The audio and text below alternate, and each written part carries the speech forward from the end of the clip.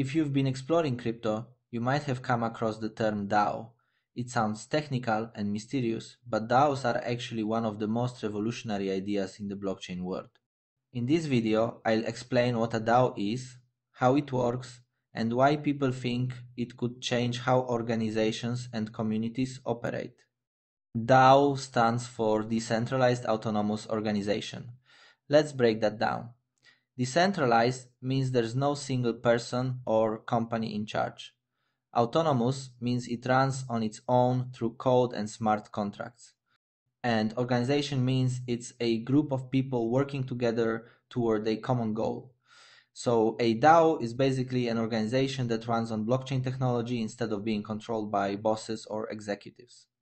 In a traditional company, decisions are made from the top down. There's a CEO, managers, and employees. In a DAO, decisions are made by the community, usually through voting. The rules are written in smart contracts, self-executing programs that live on the blockchain. Once those rules are set, they can't be easily changed, which makes DAOs transparent and trustworthy. For example, imagine a group of developers creating a new DeFi project. Instead of forming a traditional company, they launch a DAO. People who believe in the project can buy or earn governance tokens. These tokens give them voting power. When a decision needs to be made, like funding a new feature or changing a fee structure, members vote using their tokens, and the majority decides what happens. Everything is recorded on the blockchain for everyone to see. One of the best things about DAOs is that they allow people from anywhere in the world to collaborate without needing to trust each other personally. The code and the blockchain handle the trust. Payments, proposals, and votes are all automatic. It's like running a company that doesn't need an office, a bank account, or even a legal structure in one country. Some famous DAOs include MakerDAO, which governs the DAI stablecoin, and Uniswap DAO, which manages the development of one of the biggest decentralized exchanges. There are also DAOs focused on investing, funding new projects, or even owning digital art and NFTs together. But DAOs aren't perfect. Because they rely on smart contracts, bugs, or coding mistakes, can lead to serious problems.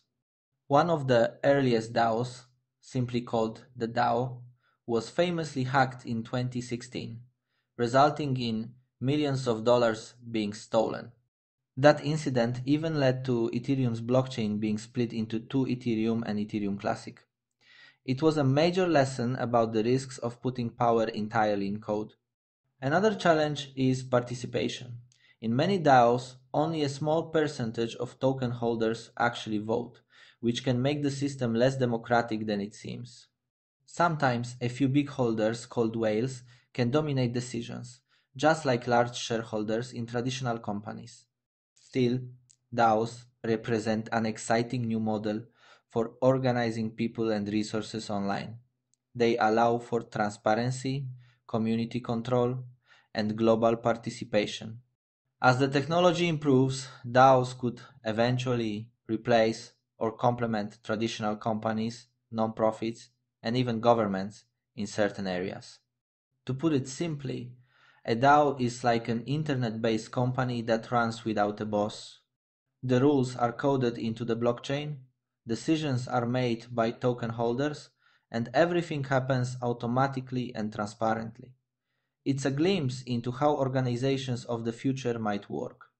And that's what a DAO is, explained simply. If you found this video helpful, don't forget to give it a like and subscribe for more easy crypto breakdowns. Thanks for watching and I'll see you in the next one.